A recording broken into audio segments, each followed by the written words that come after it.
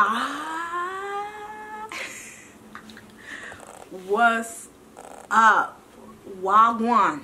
What's going on, y'all? It's been a minute. It's been a long time. Excuse my dog, Charlie. She's probably going to be in and out of the frame because she loves to be by me. She's obsessed with me, so.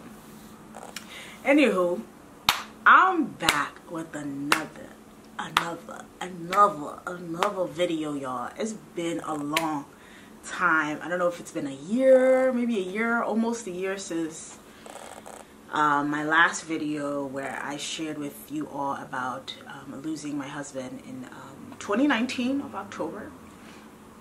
It's been an interesting journey to say the least.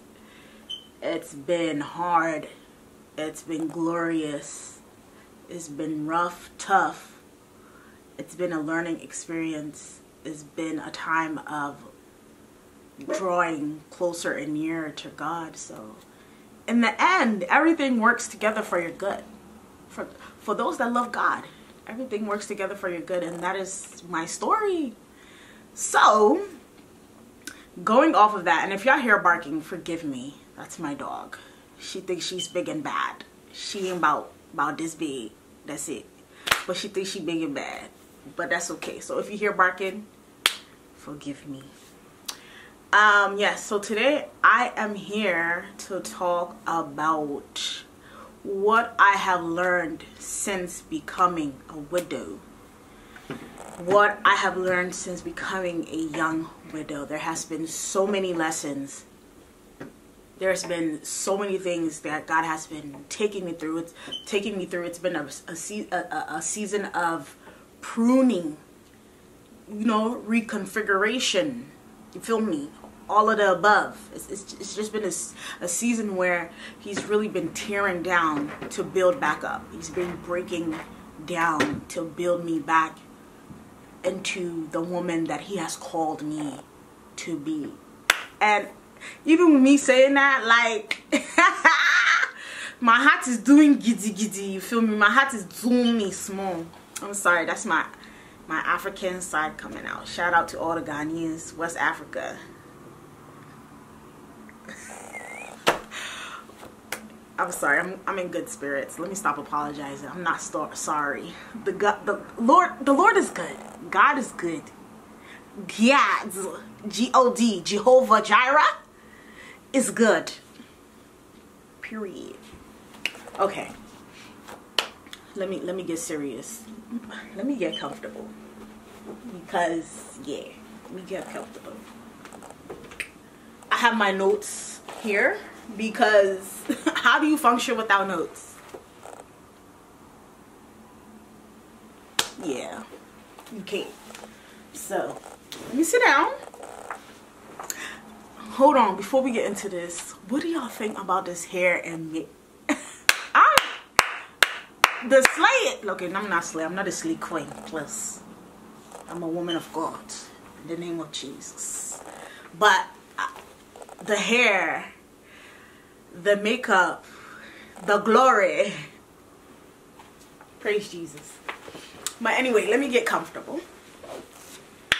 Okay what i have learned since becoming a widow. Number one uno setting boundaries. Let me um let me sip some tea. Setting boundaries yes.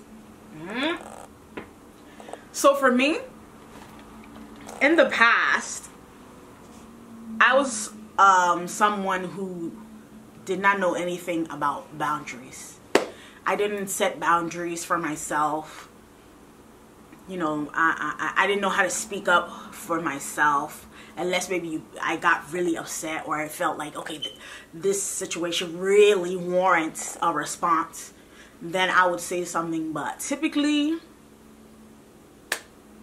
I didn't set boundaries for myself at all. But after the passing of my husband, you know, I know I, I have some fellow widows that do watch um, this video.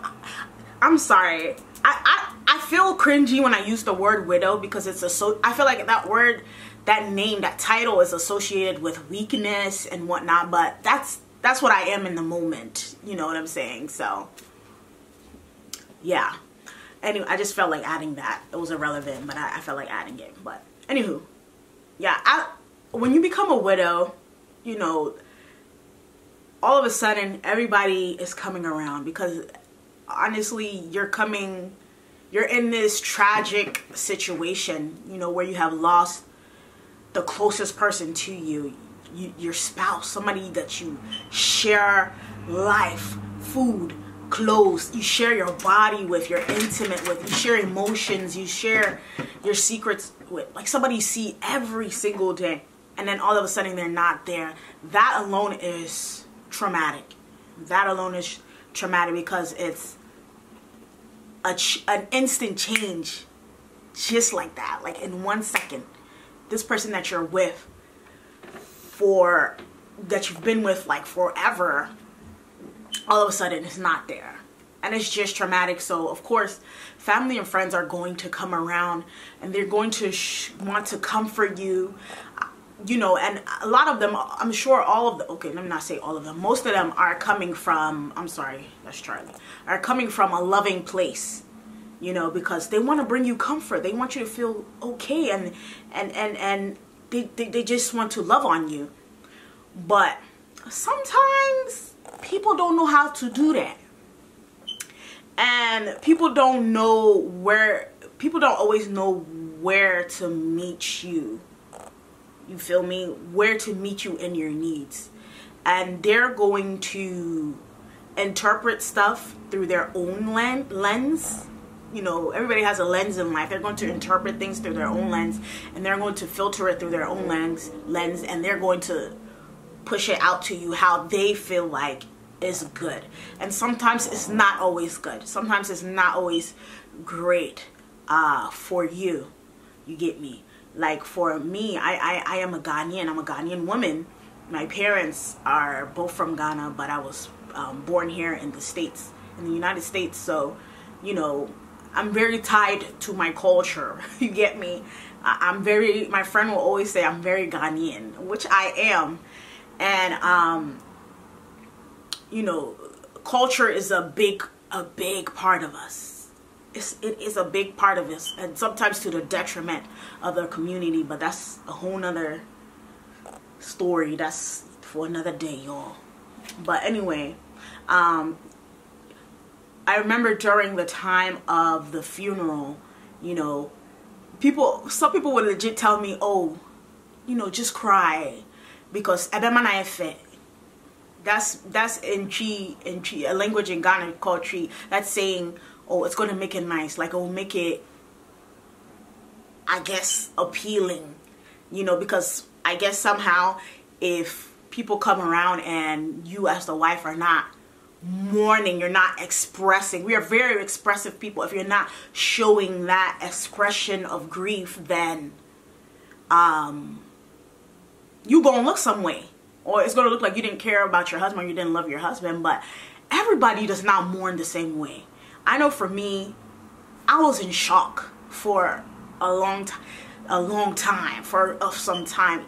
Even while I was in the hospital with my husband, when I saw my husband take his last breath, I couldn't cry because I was in such a state of shock. Like I couldn't even function in that moment.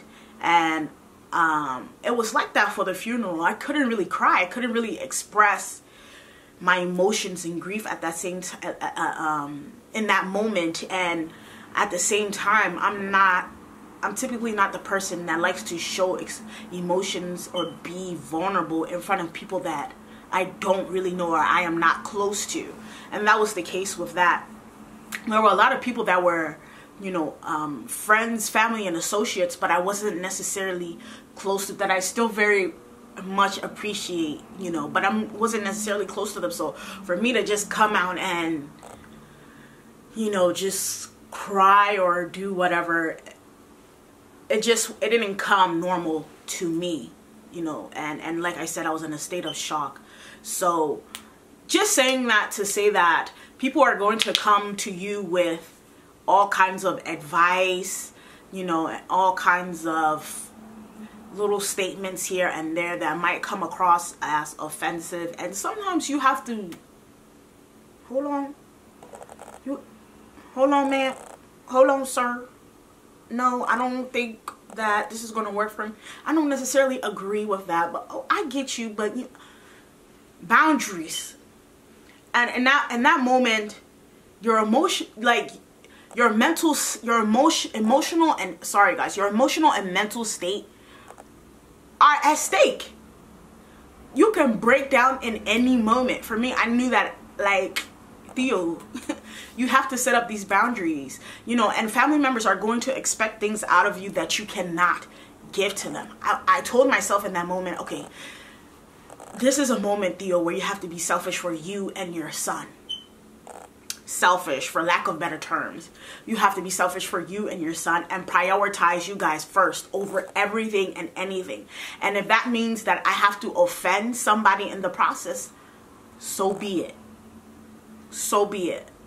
If, if I have to offend you in order to protect my mental health, my emotional health, then it is what it is. And I had to come to a place, I had to grow and learn and come to a place where I was okay with that. You know, I, I, I've been used, I was so used to being a people pleaser, you know, because I didn't want to look a certain way in front of people. I didn't want to come off as mean or unkind or uh, stand standoffish or nonchalant. I didn't want to come off like that in, in, in, the sight of men. But I feel like God, not I feel like I know that God used this situation to be uh, to teach me that you cannot please God and please man. That's a word. You can't please God and please man. Because you know what? Sometimes God is going to ask you to do some things that the circle around you, your friends and family and associates, whomever, will not agree with. And they're going to look at you like, what are you doing with your life? Or they're going to look at you like, um, what's going on? And you have to do it because you want to be obedient to God. But if you are so worried about your self image, if you are so worried about what somebody is going to think or say about you, that's never get, gonna get done.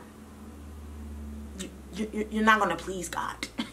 like you, you're just not gonna be obedient to what God is telling you to do. And I know that in that moment when my my my husband passed away, it was just a moment where God was just pruning he's just and it still is till now but he's just pruning me you know what i'm saying he gave me he even at some point in the very beginning stages of, of going through grief he gave me a vision where i was laying in the middle of a room just laying on the ground and i was like cowering in fear and the house that i was in was just being torn down it was just being torn down and I'm just laying there cowering in fear because there's so much going on around me. But then uh, in the end, he was building up a new house around me. Listen, and that's what God has been doing in my life. He's been tearing things. Nothing looks the same in my life. Nothing. Even if you know, if you knew me in the past and you see me now, nothing looks the same. Nothing looks the same. you know. Um, so yes setting boundaries healthy boundaries oh, let me let me add that on healthy boundaries not boundaries that stem from a place of of um, bitterness or unforgiveness because we, we do that we set boundaries that stem from a place of oh I don't want you I don't want to talk to you. I don't want you in my life because you did this and that and that and that to me and it hurt me and I feel like you didn't appreciate me, you undervalue me, so I'm going to cut you off. No. Yes, sometimes you are going to have to cut people off just for the fact that you want to protect your peace. Listen, peace cannot be bought. Because if peace could be bought, celebrities and whatnot will not be killing themselves. They, they will not be kill, committing suicide. They got money. Okay? They could, they could buy anything. But yet, they end up committing suicide because there's a lack of peace there. Hopelessness is there. And peace is not something that you want to just throw around to anything or anyone. You cannot just throw it around and just dibble and dabble with. Peace is very essential. It is essential. It is essential. And it even reminds me of the Bible verse that states that we should not cast our pearls to swine. Okay? Don't just be messing, letting people mess with your peace all in the name of wanting to be okay in the eyes of someone, wanting to please someone. It's not worth it. It is not worth it. So, yes. Moving on. Sorry I'm, if I'm looking down. I'm looking at my notes. The second thing that I learned, I knew about this already, but I think after my husband passed, God began to teach me on a deeper level the secret place. The secret place, the importance of really staying in the secret place, really abiding in God. Abiding in God. Um, after my husband passed, as I said, as I, I, I stated earlier, it was it was it was very tragic. Tragic. It was traumatic um, not only for me, it was traumatic for um, my son as well. And I knew that I had to stick to closer to God. I knew that I could not draw away from God or else something up here would take. I, I remember I was telling my my friend Nanaya, her, her um, YouTube channel is called Anyama. Check her out. But I remember she's my very good sis. She's my very good friend turned sister. I, she's basically my sister. Um, I remember telling her she they had come over with some other sisters of mine. She had come over with some other sisters of mine, and I remember telling her, you know, you know, if I'm not careful, like if I if if I don't stay with God, I'm going to end up in the asylum. I'm going to end up in the mental ward, and I was being very serious. I wasn't speaking it over myself, but I knew that if I didn't stick close to God, if I didn't remain in the secret place, if I didn't stay in the secret place consistently, this would just go off. It would go off. So, the secret place, and I want to read. Ooh, sorry, y'all. I got butterfingers. I want to read um, two. Am I still recording? Yes. I want to read two scriptures um, to you concerning the secret place that really speaks to my heart and speaks to my soul. The first one is Psalm 27, verse 5, and it reads, For he will hide me in a shelter in the day of trouble. He will conceal me under the cover of his tent he will lift me up upon a rock. And that's how it was for me. That's that's that's that's that's what the secret place became for me.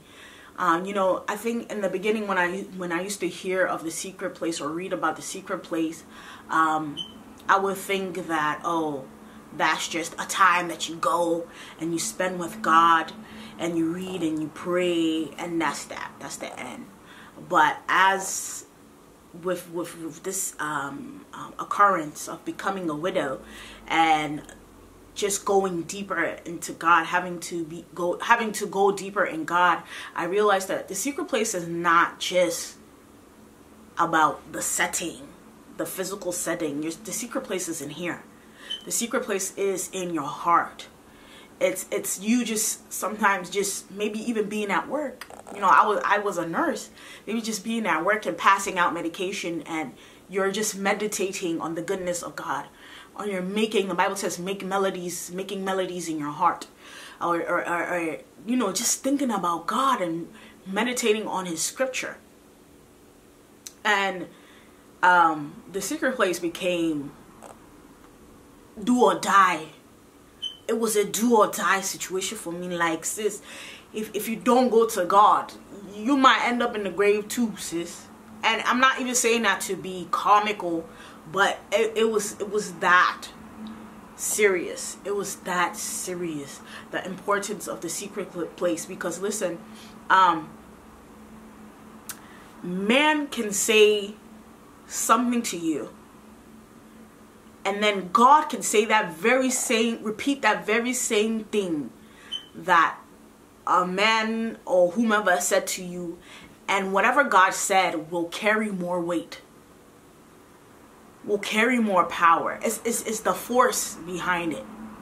You know, I remember, just to share another testimony, I remember I had, after my husband passed, I had went to my mom's place and Ooh, I get emotional talking about this, but I, my mom could just tell that I wasn't okay. So I left my mom's place and I was driving home and it was raining that day and I had my um, son in the back seat.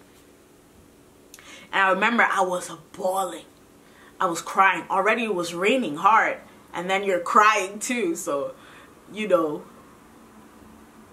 could barely see the road. It's nighttime there's um, people's headlights are on and it's beaming in your eye and you got water flowing. I was just so heartbroken. I was so just broken and I was just crying. I was I was crying out for my husband. I was just like I, I, I could not understand what was going on. And there was just so much hurt and pain there. And I remember what God whispered to me. God was like, why are you crying? He's just sleeping. Now, see, if somebody else had come to say that to me, I might have, what you say? What? I might have went into fighting mode. Like, what are you talking about? Like, you get, you not making sense, homie. Watch what you say to me in this moment. Your girl is emotional. But God was like, why are you crying? He's sleeping. But it wasn't just the words. It was the comfort. Woo! Could preach a sermon. It was the comfort that came with it after that. And in that moment, the tears, just like right, like I feel like God is even wiping my tears now. In that moment, my the tears in my eyes, clear, guy, like eclair. The tears in my eyes stopped it cleared. It was almost like God himself came now and took a tissue It was like, it's okay, my daughter. It's okay. And I could feel him just bringing warmth to my heart. And there were many times in the secret place where God did that for me. Where it wasn't just, it wasn't just um, a thing of just reading the word and then finding comfort it was it was it was a tangible presence it was a tangible warmth it was there was a tangible healing being in the secret place and i could just feel him just wrapping his arms around me in that moment and God, guys when i was sitting in the car driving i was shook at what was happening so I was trying, I was legit trying to force myself to cry. I was trying to force uh, tears to come out of my eyes and I could not find one tear. Not one. And do you know what I did for the rest of that ride? I turned on some worship music and I worshiped my way on home. Listen, you can still find worship even in your demise even in your trouble, you can still find worship in the secret place. God can cause you to lift your hands and say, Lord, I thank you, even in this moment, even for what I've been going through. I thank you. I remember there was a there was a time where I was in the shower and I was crying again. This was after I became uh, became a widow, and I was crying again. And the Lord said, I remember the Lord saying, "Just thank me." And I wanted, I legit wanted to punch the air because I was like, what are you talking about? Thank you for what? I'm a widow. I'm 28 years old. I have a, a, a, a I think my child was five at that time that just turned six. My husband passed away like a week, almost a week before my son's uh, sixth birthday. And I'm like, what are you talking about? This is not making sense. You want me to say thank you? No, Lord. You know, like you, you wanted to fight God because you like, we sometimes we think we know better than God, right? And I could just feel God just being gentle, just being like, just thank me. So I just, I humbled. And sometimes that's what you have to do. You have to humble yourself. You have to quiet your flesh, quiet what you feel like you want to do in that moment and say, Lord, I thank you. And that's what I began to do in that moment. I said, Lord, I thank you.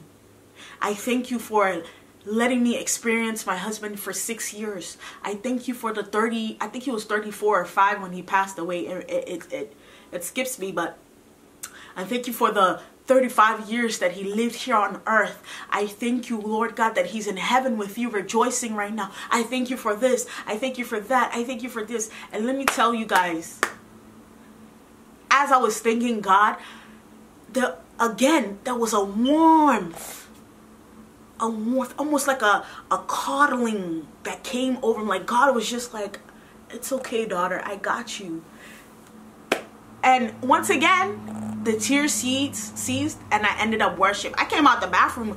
My sisters were at my house and they were looking at me like, what's going on? Because I was coming, I came out the bathroom just worshiping, singing to God because I could not, I could not comprehend the tangibility of his presence. Like, like when you feel like nothing in this world can comfort you, not money, not food, not your career, not your title, when nothing can comfort you, God can. You being in the secret place and acknowledging Him and thanking Him, it will bring you such comfort. Comfort. Listen. So yeah, another scripture that comes to my mind when um I, I, I dwell on the secret place is Psalm 91. know that after the pandemic, yo, 2020 pandemic, Psalm 91 became Christians' lifeline. You get me? It became our lifeline, and and and that's what it was for for me. I was a lifeline, and let me even pull it up and read the part that gets to my heart. Gets to my heart. Psalm 91. He who dwells in the secret place of the Most High shall abide under the shadow of the Almighty. I will say of the Lord, He is my refuge and my fortress. My God, in him I will trust. Surely he shall deliver you from the snare of the fowler and from the perilous pestilence. He shall cover you with his feathers, and under his wings you shall take refuge. His truth shall be your shield and buckler. You shall not be afraid of the terror by night, nor of the arrow that flies by day, nor of the pestilence that walks in darkness nor of the destruction that lays waste at noonday. A thousand may fall at your side, and ten thousand at your right hand, but it shall not come near you. Only with your eyes shall you look and see the reward of the wicked, because you have made the you have made the Lord, who is my refuge, even the Most High, your dwelling place, and so forth and so on. I wanted to stop, but I just felt the the the the Holy Spirit asking me to go on. So I just read all of that. But I and, and one thing that the Holy Spirit is even bringing to my mind right now is the Word. The power of the Word. The power of the Word. The power of the Word. The Holy Bible. Listen the bible it held me. It okay this this video is turning low-key turning into a testimony but let me testify to the goodness of my lord jesus christ. Amen. Amen. The word of god listen i would wake up and on my heart would i would just wake up i'm like lord no i'm awake again. My heart is shattered. I don't want to wake up. And I would have to go to the word in, in order in order to be able to just function for the day to function for the day. The word of God carries so much power and it carries so much of his presence y'all. Like when you're going through something please in the secret place do not neglect the word. And I say this even to myself now you know what I'm saying? I, I do not neglect the word of God. Sorry guys my camera stopped because it stops recording at 30 minutes.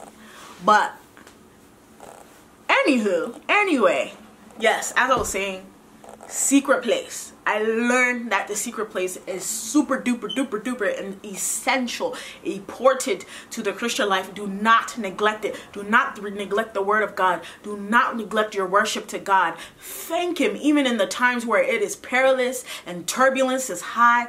Thank him in that moment amen. Last but not least as my people say last but not least faith. Ooh, and I, I think that ties that kind of ties into um the secret place. Faith. Holding on to your faith. I learned that faith is so important having hope in the Lord Jesus Christ is so important. So important. So important. Like you have to have faith. It is is it you have to ride on the wings of faith because that is what is going to carry you. You know, when hopelessness presents itself to you, when it's growling and snaring at you, you have to hold on to faith. Your faith, it is a shield. It is a shield. It protects you. It protects your heart. Because when the world and, and, and the turbulence of this world and the cares of this world is threatening you, it is your faith that will act as a shield and repel all of that because you're placing your hope in God. You're placing your hope in God. You're believing in him even for what you do not see you're believing in him for that and I had to I had to learn that it was total Theo from here on out it is total dependency. Have I uh you know how do I say the word? Have I neglected that in some aspects? Yes. I have not been perfect. There were times where I was I was like my guy, guy forgets. Man cannot come and kill and I'll go and do whatever I wanted to do. Like, guy, guy could, man cannot come and kill himself. I'm tired of this Jesus thing. I'm tired. I'm tired of holding on to my faith. I'm tired of go to bed. I go to go wherever I want to go. And of course, you know that that never ended up well for me. I'm, I'm, I'm sure. Because the Lord will be like, Lord just be looking at you like this hey, will you come, come, come, will just grab you, come, come, come, come and sit down. and that's what God did with me. He would just be looking at me like, look at her. See, see, see. We'll be throwing out temper tantrums like, like, Lord, I can't do this. I'm walking away. And God would be like, will you bring your, bring, bring your telly? Let me stop cutting up. Let me stop cutting up. you know, it would be like that where at times I'm like, I'm tired, God. I'm tired. Like, I don't want to do this anymore. And he would pull me back. He would pull me back into his bosom. And I love the Lord for that. I love him so much for that. But yeah, the, I, I had to depend on him. Total, total dependency on him for everything and anything. Um, I'm looking down at my notes once again. Um, when no one is there, God is. When no one is there, God is. The, the, when you're going through grief, there is very few things that um, will settle your heart. And I'm sure other widows that watch this video um, can relate. There was just nothing that could come from me in that moment but God. Nothing. Nothing. You know, people can be there, and, and I love and appreciate the people that are in my life that were there. Um, some are no longer in my life, some are still here in my life, but they were there. Um, and, you know, they brought so much comfort and love into my life, but they could not touch the place that God touched. You know what I'm saying? They could not bring the kind of comfort that it was it was just a deep it was a deeper a deeper comfort that God brought um so God man cannot give you what God can give you he can't he can't and um it's only God that I, I, I, I realize that it's only God that can meet my needs. Only God that can meet my needs. Only God that can meet my needs. And and um I think being married um, to the wonderful man Samuel Abuaji that I was married to, he did everything, everything. Okay, like I'm not gonna say I wasn't spoiled, but he was just someone who was always on top of things. You get me? He was always on top of things. Paying bills, making sure things are in place, planning stuff. That was him. I was, I'm more of a free kind of person. Oh, what's going on today? Okay, let's do this, that, that, that today. We'll think about tomorrow, tomorrow. you know, which is there's pros and cons to that, but he was someone who was he was just a wonderful man and um, because he was the way he was, I realized that I depended on him so much. I depended on him so much. And when he passed away, almost I, it felt like the world was cr- kind of crashed, like time stopped. In that moment, there was no such thing as time. I was in a, a it was almost like you're in a virtual reality. You get me? And um, after he passed, I realized that uh, God is a husband. God is no not only there's so many folds to God. There's so many aspects to God. There's so many dimensions to God. He can be a father, he can be a wife, he can be a mother, he can be a sister, a brother, he can he can be a husband. And that's what he he became to me and and he's still doing now. He became a husband to me. And listen, I, I have not needed one thing. I have not struggled for one thing since my husband passed. It's almost like God knew what was coming and just put things in place. And, you know, maybe somebody will watch this and be like, you know, why would, if God knew that was coming, why would he allow that to happen? You know, and it's a question I asked too, but I realized that as a man, my vision is limited. But God God sees everything. He knows your beginning to the end. He knows your end from the beginning. He knows every single thing. He knows the the, the hair follicles, the amount of hair follicles in my hair. Okay? He knows me from head to toe. He knows my depths. He knows, he, I mean, the, the word says that he be, before he placed you in, in your mother's womb, he knew you. He knows every single detail about me. So I so then I choose to have faith in him. I choose to trust in him because he's the one that knows everything. I don't see everything, you know. I might see from a chicken a chicken's perspective. God sees from a eagle's perspective. Just a, an analogy, you know. I might be seeing it from the ground, from here where I'm I'm I'm, I'm sitting. This is how I see things, but he's looking at it from an eagle's perspective, which allows you to see way further than what a chicken could see. And so I just I I, I realized that faith Faith is big when it comes to this walk.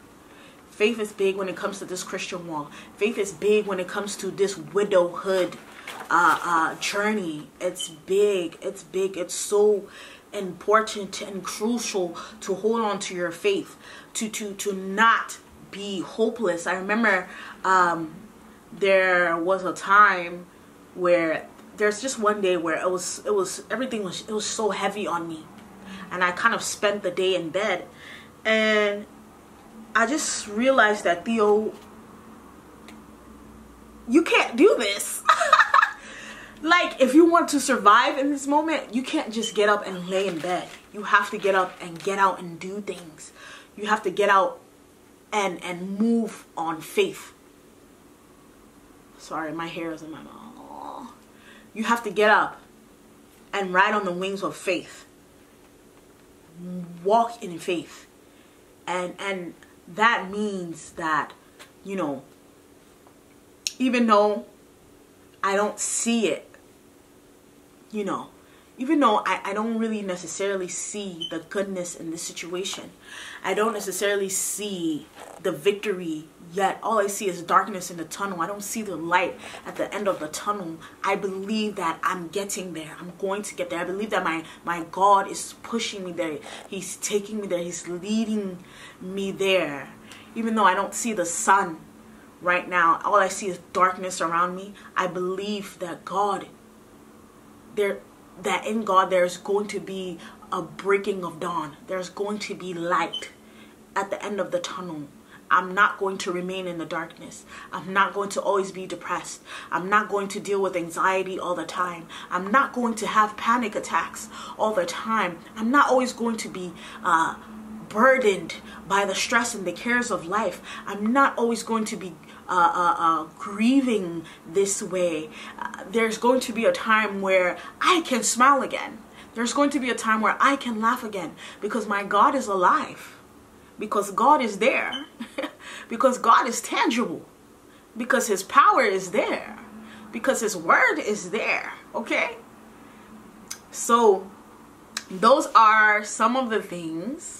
I know it's been a, a, a long video but those are some of the things that I learned. I think some some of the most important things that I learned um, in this journey of widowhood, becoming a young widow, and just going through this journey with with with God and and and becoming really really becoming him molding me and becoming the woman that he wants me to be not the woman that I I want myself to be but but the woman that he wants me to be so I thank you God, God uh, I can't even talk. I thank you guys so much for tuning into this video and the, the love that y'all poured out on the last video from strangers, fellow widows.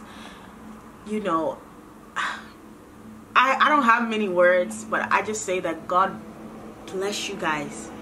May God meet you guys where you guys need it the most. May He wrap you and your family members, my fellow widows. May He wrap you and your family members, your children, in His warmth and His love and His care and kindness. God is there for you. He will never leave, nor he will, will he forsake you. I know things look turbulent right now, and it looks like he has abandoned you, and it looks like God's love has run out it's run its course in your life and you're asking God, why, how, why are we here, Lord?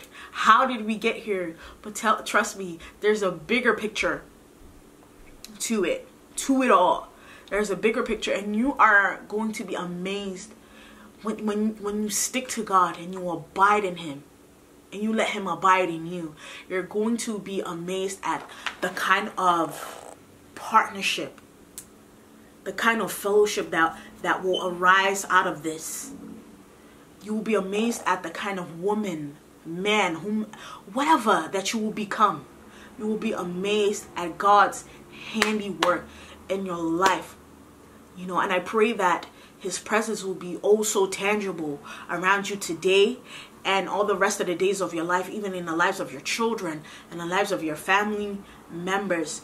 His love and presence will be that more uh, uh, uh, the, the present in your life, even more so that more than what he showed me in this process, in this journey. So thank you all for tuning in. Please comment below, subscribe. Let's talk, let's just now, you know what I'm saying? let's speak about the goodness of God. Let's discuss. And um, if you have a prayer topic, please leave it down there. I'm here to pray for you. I'm here to pray with you. Okay, I'm, we're here to encourage each other. Um, um, you know, the Bible tells us that we should love each other. We should revere ourselves higher. We should revere other people higher than ourselves. So I'm here for you. I'm here for you. I'm here for you, you, you, you. I'm here for you. I'm here to pray for you. I'm here to encourage you. I'm here to throw some scripture at you. I'm here to throw some girl, you better get up. Boy, you better stop playing. Okay? and I expect that from you as well. God bless you all. Have a blessed week. I will be back with another video. Y'all pray for me. Just consistency thing. Pray for me. I peace. Holla. I will see you guys again in another video. Love ya.